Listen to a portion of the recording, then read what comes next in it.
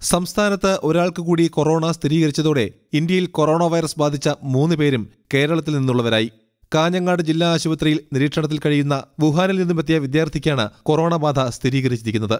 വിദ്യാർത്ഥിയുടെ ആരോഗ്യനില തൃപ്തികരമാണെന്ന് ആരോഗ്യമന്ത്രി കെ കെ ശൈലജ നിയമസഭയിൽ പ്രത്യേക പ്രസ്താവനയിലൂടെ അറിയിക്കുകയും ചെയ്തു.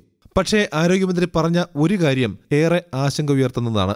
കേരളത്തിൽ നിന്നും കൂടുതൽ വൈറസ് ബാധ റിപ്പോർട്ട് ചെയ്യാൻ സാധ്യതയുണ്ടെന്നാണ് ആരോഗ്യമന്ത്രി പറഞ്ഞിരിക്കുന്നത്. നൂറ്റിമൂന്ന് സാമ്പിളുകൾ പരിശോധനയ്ക്കായി അയച്ചിരുന്നതിൽ ഒരാളുടേതാണ് കൊറോണ പോസിറ്റീവായി വന്നിരിക്കുന്നത്.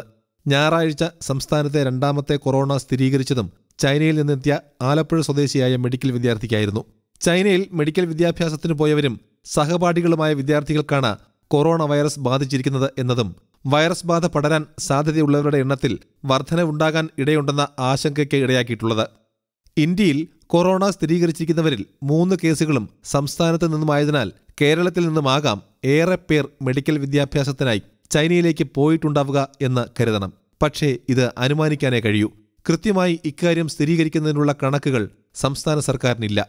എത്ര പേർ ചൈനയിൽ വിദ്യാഭ്യാസത്തിന് പോയി എന്നുള്ള കണക്കില്ല എന്നത് സർക്കാരിനെ കുഴക്കുകയാണ്. ഇങ്ങനെയൊരു കണക്ക് സർക്കാരിന്റെ കൈവശമില്ലാത്തതിന്റെ പ്രധാന കാരണം ഏതെങ്കിലും ഒരു കേന്ദ്രീകൃത ഏജൻസിയിലൂടെയല്ല വിദ്യാർത്ഥികൾ ചൈനയിലേക്ക് പോയിട്ടുള്ളത് എന്നതാണ്.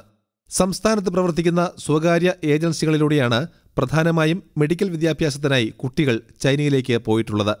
വിദേശത്ത് പഠിക്കാൻ പോകുന്നതിന് മുൻപ് സംസ്ഥാനത്തെയോ കേന്ദ്രത്തെയോ ഏതെങ്കിലും ഔദ്യോഗിക ഏജൻസിയെ അറിയിക്കണമെന്ന് യാതൊരു നിബന്ധനയുമില്ലാത്തത് കാരണമാണ് സംസ്ഥാന സർക്കാരിന് ചൈനയിലേക്ക് എത്ര പേർ വിദ്യാഭ്യാസത്തിനായി പോയിട്ടുണ്ടെന്ന കണക്ക് ലഭിക്കാത്തത്. വിദേശ മന്ത്രാലയത്തിൽ നിന്നും കണക്കുകൾ ലഭിക്കുമെങ്കിലും കൊറോണ കൺട്രോൾ സെല്ലോ ആരോഗ്യവകുപ്പോ ഇക്കാര്യം ഇനിയും അന്വേഷിച്ചു തുടങ്ങിയിട്ടില്ല എന്നാണ് അറിയുന്നത്.